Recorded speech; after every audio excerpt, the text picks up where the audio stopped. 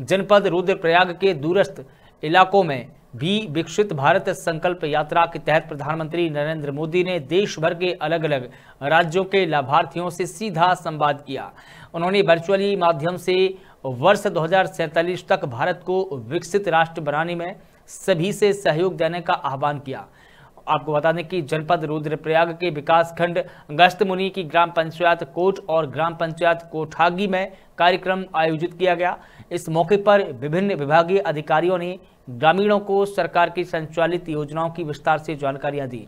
विधायक भरत सिंह चौधरी ने कहा कि प्रधानमंत्री नरेंद्र मोदी के कुशल नेतृत्व में देश निरंतर प्रगति की ओर अग्रसर है।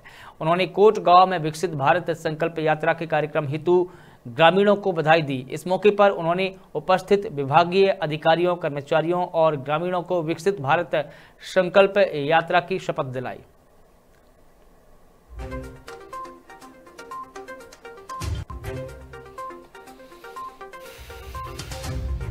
देवी ग्राम कोटगी से जिला मुझे उज्ज्वला गैस की योजना मिली है। पहले हम जंगल जाते थे लकड़ी के लिए। अब हमें बहुत आसान हो गया। मोदी जी ने हमें बहुत सपोर्ट कर दिया।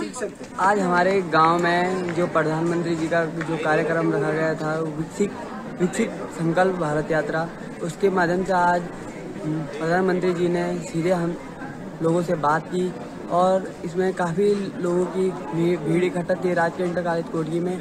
हमें भी यात्रा के तहत रुद्रप्रयाग जनपद में दो जगहों पर ये एक कार्यक्रम आयोजित हुआ था जहाँ प्रधानमंत्री महोदय का लाइव टेलीकास्ट सभी लोगों ने सुना। और मुझे बहुत खुशी है कि यहाँ लोगों में काफ़ी उत्साह था कुछ नई टेक्नोलॉजीज़ को लेकर यहाँ पर हमने लोगों के सामने डेमोस्ट्रेशन किया।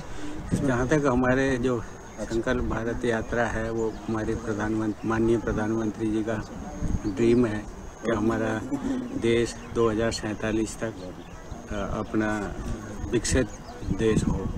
देखिए विकसित भारत संकल्प यात्रा इस समय पूरे देश में चल रही है और उसी कड़ी में आज ग्राम पंचायत कोर्ट में ये यात्रा पहुँची है और मोदी जी की गारंटी के नाम से जो वाहन यहाँ पर आए हैं बहुत बड़ी तादाद में क्षेत्रीय जनता यहाँ पर आई और बहुत तन्मयता से उन्होंने मोदी जी को सुना।